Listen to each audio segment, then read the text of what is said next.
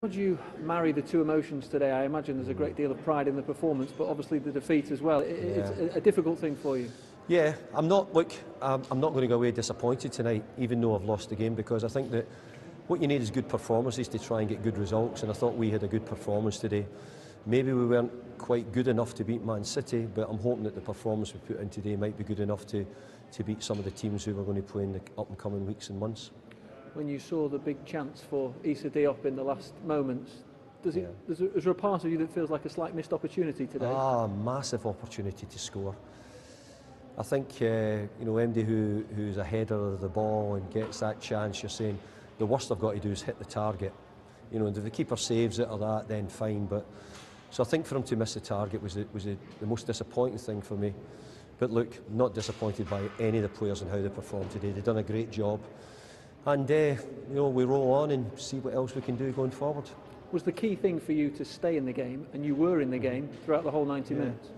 No, we were. I think when you play the teams like, like you know, Manchester City or Liverpool, I think you have to stay in the game. And it was really important that after we, we went 1 0 down, we did. And we certainly done that. And we got ourselves back in the game, and rightly so, because we had done an awful lot of good things. But if you're going to play Man City, you're going to have to be able to change your system.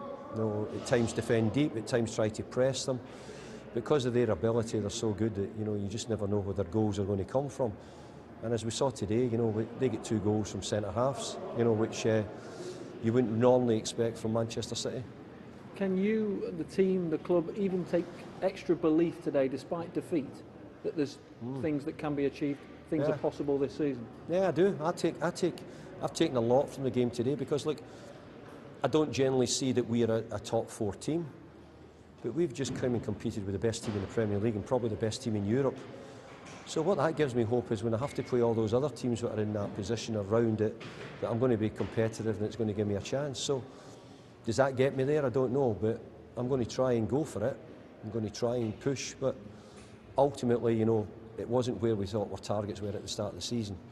But uh, it's great that we're mentioning that word Champions League or Europe because it would be an incredible achievement for us to come from fourth bottom of the league, fifth bottom of the league to the position we're in.